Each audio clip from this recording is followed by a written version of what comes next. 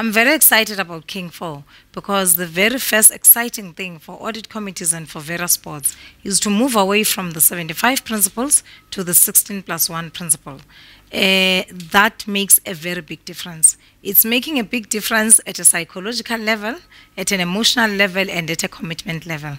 I think by the time people realize the extent of what is expected of them, there is no way it can exceed the amount of work that had to be done when it was 75 principles. However, my concern as I'm sitting here, because I'm from the auditing profession, is the level of assurance that now the King 4 committee must try and think about how it will obtain.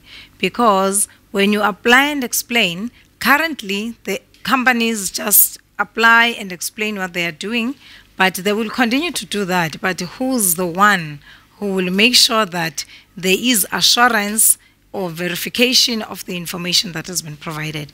I think that's the only gap that I can see needs to be fulfilled. But I think the other elements and the preciseness of the various chapters uh, will make it easier for people to understand what is expected of them.